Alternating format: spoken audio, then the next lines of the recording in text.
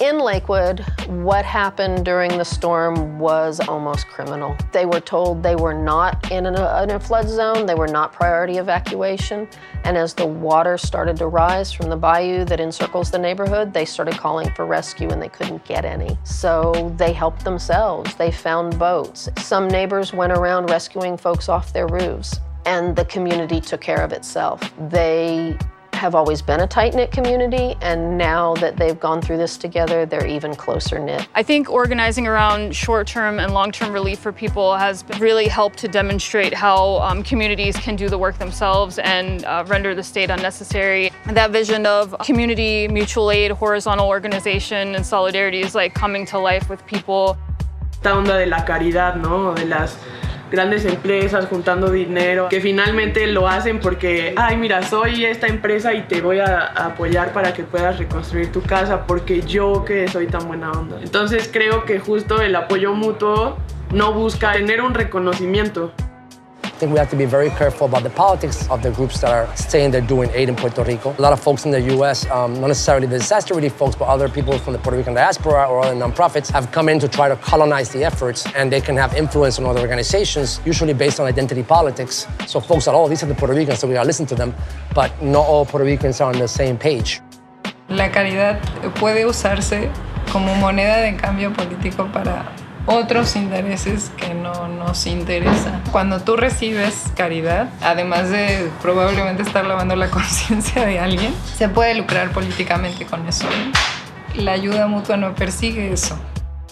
The difference between charity and mutual aid in a disaster situation is charities like the Red Cross, they're set up along very specific lines. They have CEOs, they have vice presidents of communication, they have all of these different levels in their hierarchy, and as you go up, each level is more authoritarian than the one before it. So in order to make any decisions, in order to do anything, things have to follow a very specific set of rules, they have to be done in a certain way, and if you try to contravene those rules, then you get booted out of the organization. From Katrina to Haiti to Houston, they cause the same problems over and over again because their structures are inflexible. We get to pick and choose what we want to do. And in picking and choosing what we want to do, we let the community who needs the work done direct us. Mutual aid just recognizes that we're all in different places and we have to meet each other where we are in order to keep moving forward. All of this hand wrangling, all of this, will our funders renew that grant at the end of the year, is not an issue.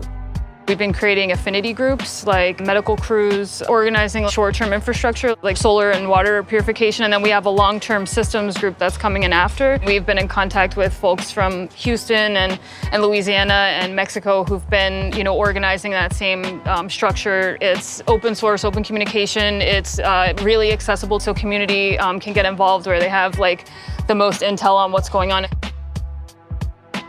when you have an opportunity to rebuild systems so that they're more people-centered than organizationally centered, then you're doing real work. Then you're making a difference that's a long-term difference because you're letting people direct what it is that they need rather than coming in and dictating to them and telling them what you will give them.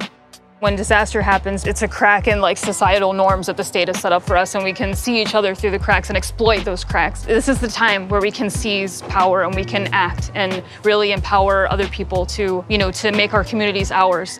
Liberalism is dying for a reason. Watching Anderson Cooper and saying, oh my, is not activism. If you believe that change comes from other means, you need to be actually doing those things. Just go out and fucking do it. Get self-organized, get um, affinity groups together and start responding, but respond through listening.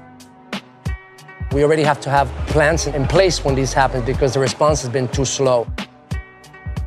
For comrades that are organizing in other spaces, I would say get out into the community, get them involved in what's going on, start organizing projects around people's experiences and, and then uh, building from there. Go find the people. They're there. You see them every day. Um, they're the single mom who needs a child care co-op or help setting one up. I think that what you're seeing is anarchists leading and saying, here are options. Rather than waiting on the government to enact those options, we're going to create open source uh, resources and uh, allow the communities to have access to them so that people are empowered. It's the future. It's where we're going. And I am proud to be a part of the anarchists who are leading the way on it.